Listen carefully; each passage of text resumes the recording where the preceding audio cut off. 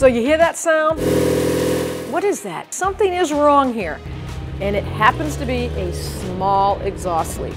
I want to show you how exciting it could be that we can do this with household items and you can solve this little mystery, repair it yourself, save close to $1,000. Let's get to it.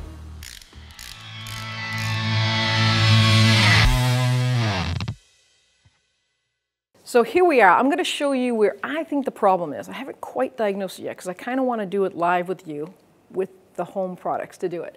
So my experience tells me that it's probably up here in this mesh area. Not every car has a flex pipe or mesh area. It's kind of like when you put the car in gear, the engine moves a little bit with the mounts. It gives that exhaust a space to go with it instead of hard solid metal mounted that would rip the gaskets out. So in here is where it's mostly compromised and that's why it's so delicate.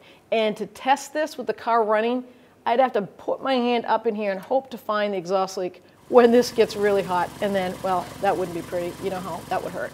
So we're gonna solve it and show you how to do it kind of a fun way. So let's just grab household items, empty spray bottle, and some dish soap. So I'm gonna open that spray bottle just drop a few drops of dish soap in there. And regular water.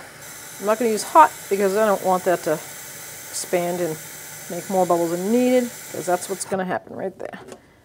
It's good enough for me. So here we are, back where the fun begins at the muffler and tailpipe. And here are my household items. Soapy water, tape, and you guessed it, the shop vac. We're going to hook that shop vac up backwards. So we're gonna blow air through the exhaust, spray the old soapy water, and we're gonna make some bubbles. And the key to this is to do it when it's cold, not when it's hot. So let's put the actual connector on there, and then we're gonna get our tape. We're just gonna tape it up. Doesn't have to be pretty. So now let's get the vacuum side ready to go. The hose is on the intake, so this is where all the dirt comes in when you vacuum. But we want the other side. We want the exit. So the air comes blowing out of here and blows right into that exhaust. So before I turn that vacuum on and it gets too loud so you can't hear me, which I'm sure a lot of you are like, thank God. No, listen, we're gonna use the soapy bubbles.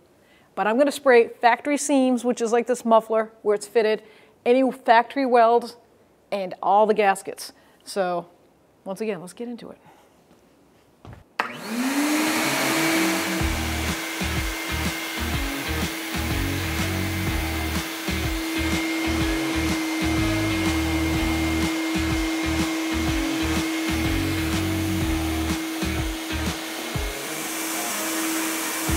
Eureka!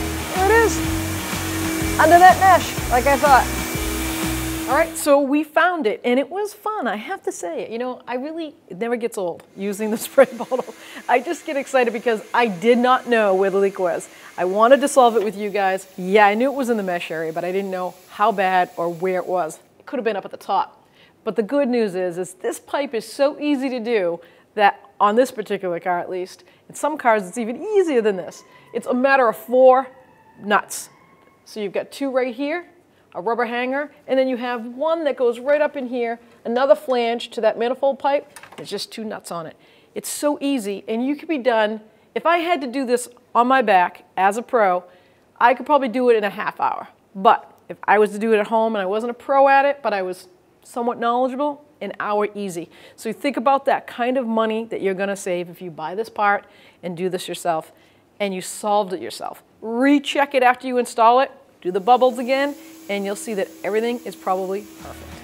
So that's what I call a short and sweet video. I mean, I had fun doing it, so hopefully you had fun watching it. If you're not a subscriber, please subscribe and don't forget to ring that bell because it turns on all your notifications and you won't miss any of these possibly hysterical videos.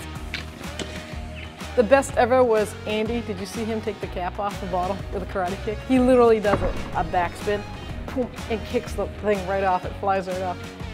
But hopefully you had fun and enjoyed watching this video. There you go. That's a wrap.